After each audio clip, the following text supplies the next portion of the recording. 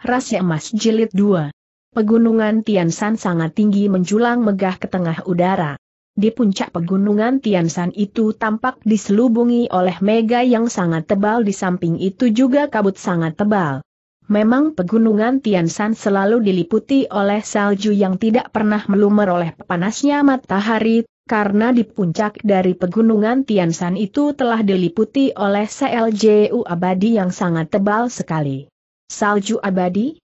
Salju di pegunungan Tian Shan tidak pernah meluber setiap masa dan juga telah merupakan salju yang tidak kunjung mencair disebabkan tingginya puncak pegunungan Tian Shan tersebut.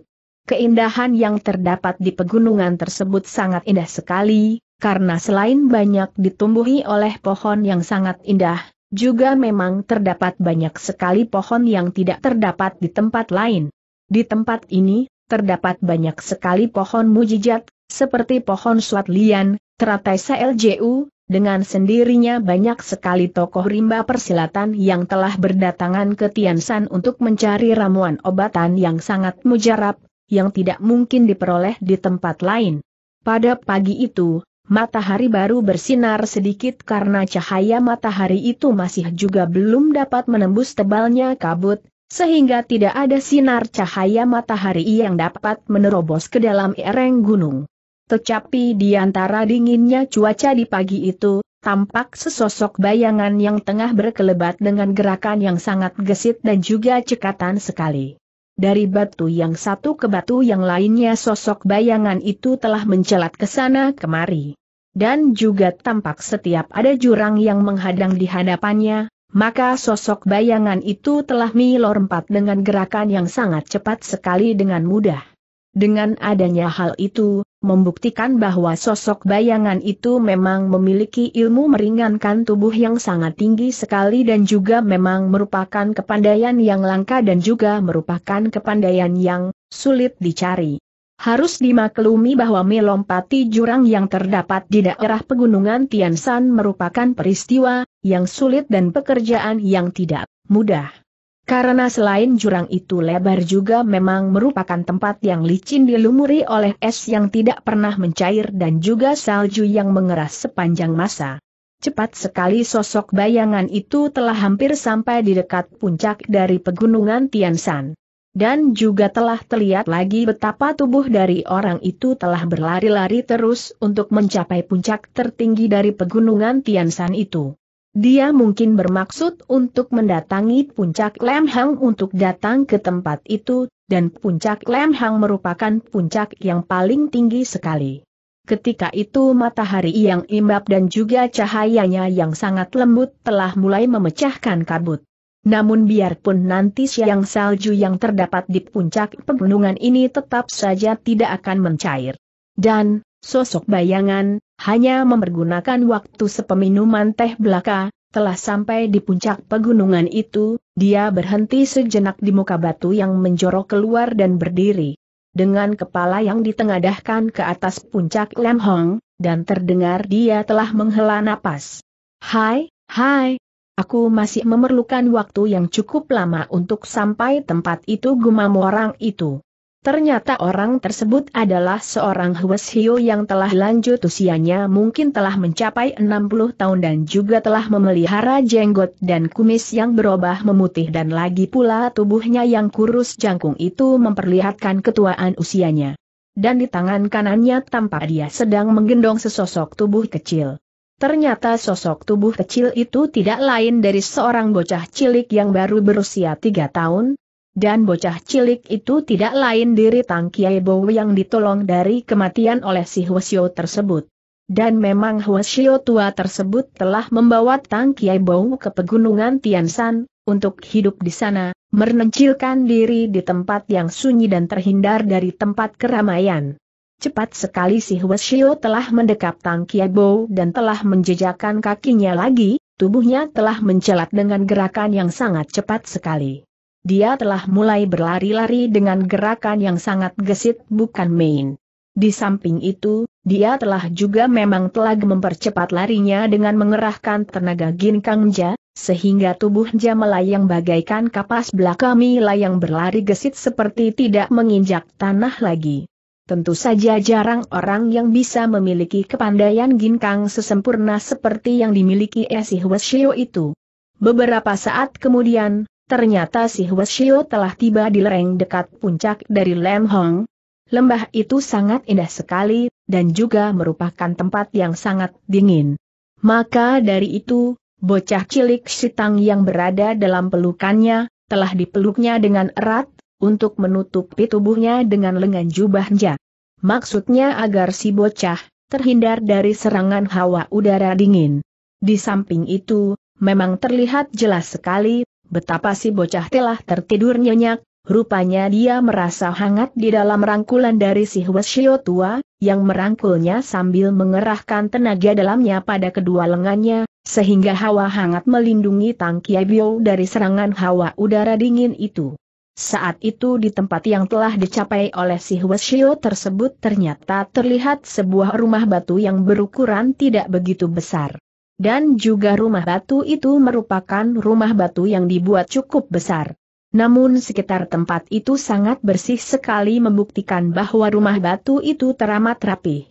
Si Hwasyo telah melangkah masuk ke dalam rumah batu yang pintunya tidak terkunci. Ternyata keadaan di dalam rumah batu itu juga sangat bersih. Di samping memang terlihat betapa perabotan rumah batu itu yang terdiri dari barang yang sederhana, seperti meja kayu dan kursi kayu, serta sebuah pembaringan batu. Tetapi pembaringan batu itu bukan pembaringan batu sembarangan. Karena pembaringan batu itu memiliki khasiat yang sangat hebat. Kalau biasanya pembaringan batu yang akan menimbulkan hawa yang dingin, malah sebaliknya pembaringan batu yang ini justru menimbulkan suasana yang hangat di dalam ruangan tersebut. Karena batu yang dibuat untuk pembaringan ini berasal dari bawah puncak Tiansan, yang merupakan batu bakaran dari lahar yang panas ketika dulu Tiansan masih merupakan gunung yang memuntahkan lahar dari isi gunungnya. Dengan sendirinya, mau tidak mau memang pembaringan batu itu merupakan yang sangat langka. Dan juga bagi orang rimba persilatan, tentu akan mengiler melihat batu itu. Karena biar bagaimana memang terlihat jelas sekali bahwa batu ini dapat dipergunakan orang untuk melatih tenaga dalam. Dengan melatih ilmu iwekang di atas batu pembaringan tersebut, niscaya orang akan memperoleh kemajuan yang sangat cepat. Hasil yang diperoleh dari latihan di atas pembaringan batu itu akan sebesar 10 kali lipat jika dibandingkan dengan latihan biasa belaka. Maka dari itu tidaklah mengherankan jika memang keadaan seperti ini telah membuat batu itu merupakan barang yang sangat diidamkan oleh setiap orang rimba persilatan. Saat itu Hwasyo tua yang telah melangkah masuk ke dalam ruangan kamar itu, telah meletakkan tubuh Tang Kiai Bau hati sekali di atas pembaringan batu itu. Dia telah menyelimutkannya juga, walaupun si Hwasyo yakin bocah itu tidak akan kedinginan disebabkan hawa udara yang hangat ditimbulkan oleh batu pembaringan yang panas itu. Si bocah waktu diletakkan di atas pembaringan batu itu tetap tertidur nyenyak. Malah, pada saat diletakkan di pembaringan batu itu, si bocah tampaknya malah tertidur riebih nyenyak dan nyaman. Di samping itu memang si bocah juga mengantuk, selama berhari telah diajak melakukan perjalanan oleh si Hwasyo tua, paling tidak hanya beristirahat di rumah penginapan, dan selebihnya. Melakukan perjalanan pula dengan berada di dalam pelukan si Hwasyo. Dengan sendirinya, selalu berada dalam rangkulan Hwasyo ini, membuat bocah itu sangat letih sekali. Hwasyo tua itu sesungguhnya merupakan seorang tokoh dari rimba persilatan yang memiliki kepandaian yang sangat tinggi. Dan kepandaian silat maupun tenaga dalam dari Hwasyo tua yang bernama Lam Cheng Su ini sukar untuk diukur. Hal itu disebabkan di dalam rimba persilatan sangat jarang sekali ada jago yang memiliki kepandaian setaraf dengan kepandaian yang dimiliki oleh Lam Cheng Su. Hanya satu dua jago yang bisa menandingi kepandaian Shio tua ini, dan itu pun hanya merupakan orang tertentu saja. Dengan sendirinya, mau tidak mau memang Lam Cheng Su juga jadi tawar menghadapi keadaan rimba persilatan dengan kepandaian yang semakin sempurna seperti itu. Dan akhirnya Lam Cheng Su telah hidup mengasingkan diri di puncak Lam Hang Gunung Tiansan ini. Tadinya, Lam Cheng Xian Su merupakan seorang tokoh dari Xiao Lim Xie, namun ketika ia akan diangkat menjadi Chiang Bunjin dari Xiao Lim Xie, Lam Cheng Xian Su telah menolaknya dengan alasan bahwa ia ingin hidup bebas. Itulah sebabnya, sampai detik itu, jabatan Chiang Bunjin dari pintu perguruan Xiao Liu, Xie tetap dipegang oleh Wei Leong Xian Su.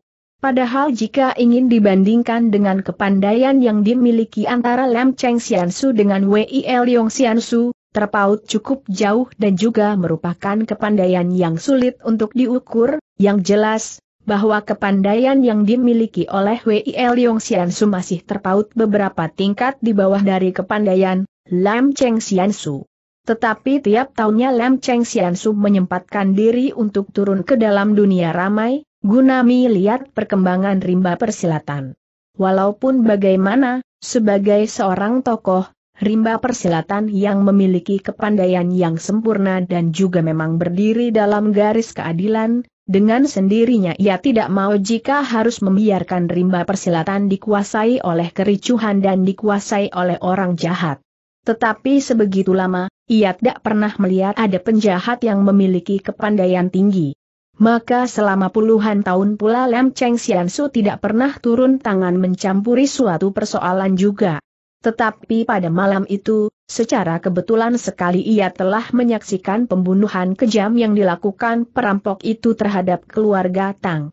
Maka Lam Cheng Xian Su tidak bisa menahan diri dan telah turun tangan telengas membasmi perampok itu. Tidak ada seorang pun di antara mereka yang diberi kesempatan untuk hidup dan semuanya telah dibinasakan dengan hanya sekali gebrak betapa. Waktu ia melihat Tang Kiai Bou, ia menyukai anak itu. Dilihatnya pipi dari anak itu yang kemerahan, terlihat betapa ia memiliki kesehatan yang baik. Di samping itu, waktu Lam Cheng Xiansu memeriksa keadaan tulang dari Tang Kiai Bou, ia telah melihatnya bahwa bocah itu memang memiliki tulang yang sangat baik sekali. Mau tidak mau tentu saja ia telah membuat ia jadi tertarik dan bermaksud akan mengambil Tang Kiai Bou sebagai muridnya. Dan kenyataan seperti ini telah menyebabkan Lam Cheng Xian Su mengajak Tang Kiai Bou ke tempat pengasingan dirinya. Begitulah, setelah tiba di tempatnya itu, ia telah mengerjakan segalanya dengan cepat.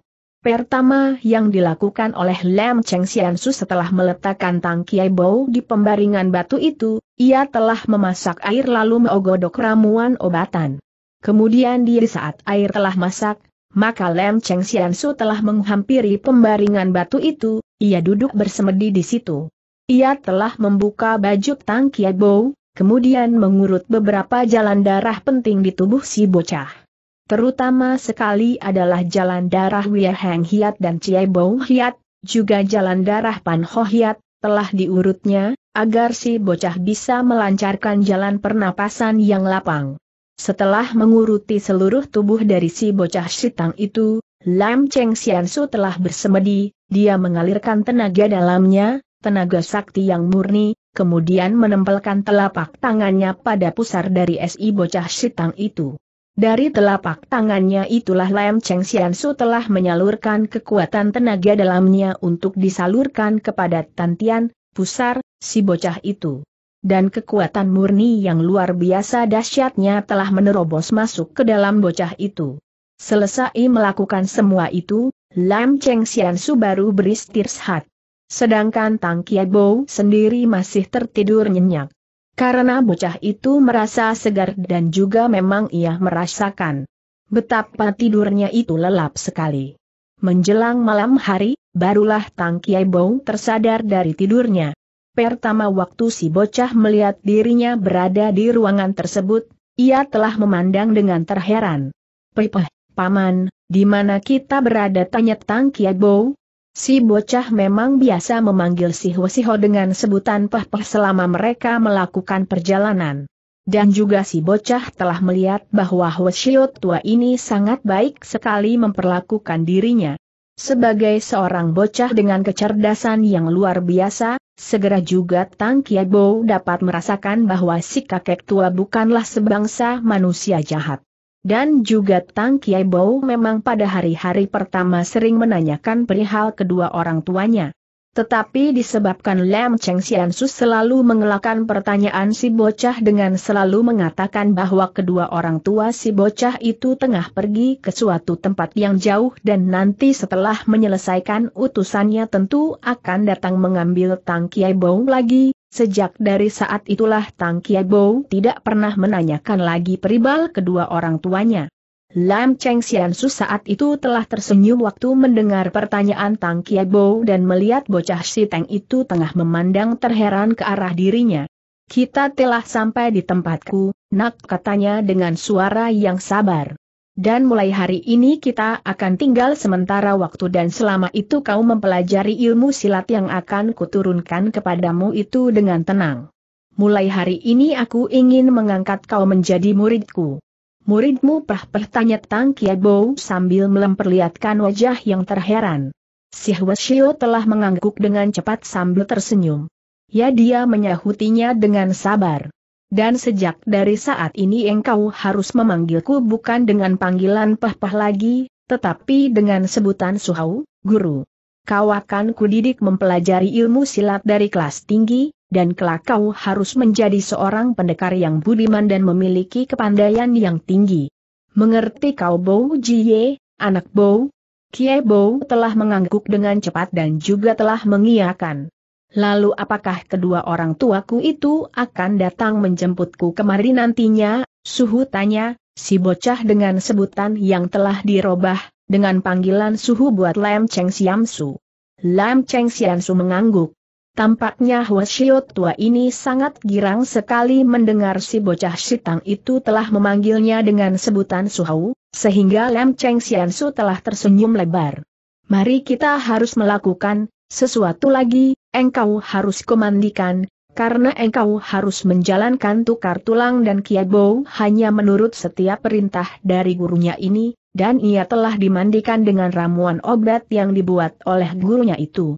Dan setelah mandi air ramuan ini, Kiebo diperintahkan gurunya untuk tidur terlentang dan menenangkan pikiran, mengosongkan pikirannya dari segala persoalan. Dengan cara demikian, tentunya Kiebo bisa memulai dengan dasar yang baik. Ternyata Kiebo memang memiliki kecerdasan yang bukan main dan menggembirakan hati dari pendeta tua yang bergelar Lem Cheng Xiansu itu ia telah dapat melaksanakan apa yang diperintahkan gurunya itu dengan baik. Di dalam waktu yang sesaat saja ia telah berhasil melaksanakan apa yang diperintahkan oleh gurunya. Dengan sendirinya hal ini telah membuat Lam Cheng Xiansu tambah sayang saja pada becah tersebut. Ia telah memerintahkan malam itu Kiabo untuk tidur nyenyak. Tidak lama kemudian, setelah menjelang beberapa saat, Kiebong telah dibangunkan dari tidurnya dan diperintahkan untuk bersemedi pula. Dan begitu pula selama beberapa hari berikutnya Kiebo telah melaksanakan latihan yang berat sekali. Tetapi Kiebo walaupun baru berusia tiga tahun, nyatanya sangat tabah dan ulet. Setiap kali berlatih dengan cara yang berat dan meletihkan dirinya, ia tidak pernah mengeluh.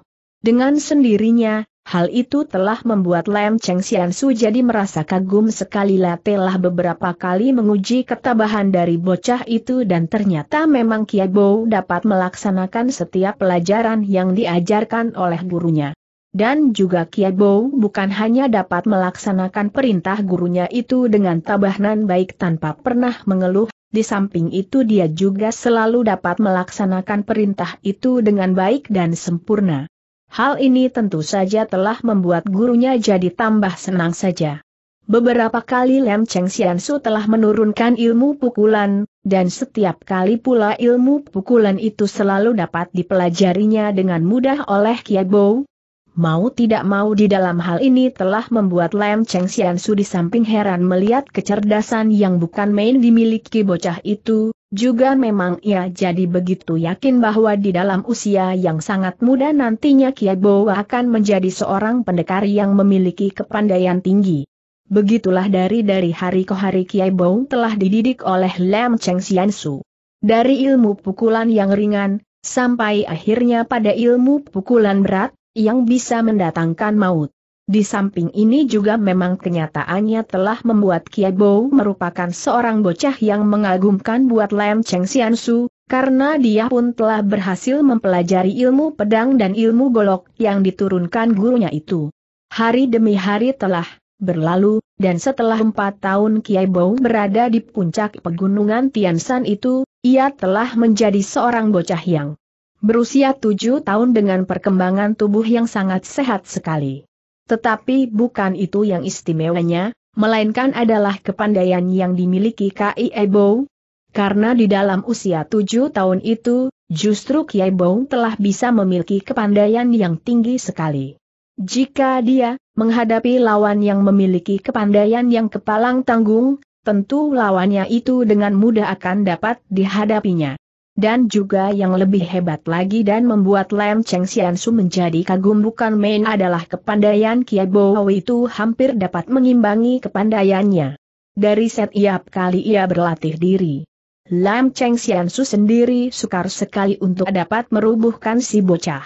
Kiai Bo sendiri heran sekali memperoleh kenyataan tubuhnya sangat ringan dan dapat melompati jurang yang lebar dengan mudah. Dan di samping itu juga dia memiliki tenaga yang sangat kuat bukan main.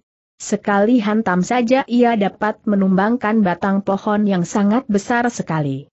Inilah hebatnya bakat yang dimiliki Kiai Bau karena jarang sekali bocah sebaya dia yang bisa memiliki kecerdikan yang begitu hebat, di samping itu juga mempunyai bakat yang luar biasa. Hari demi hari lelah lewat terus.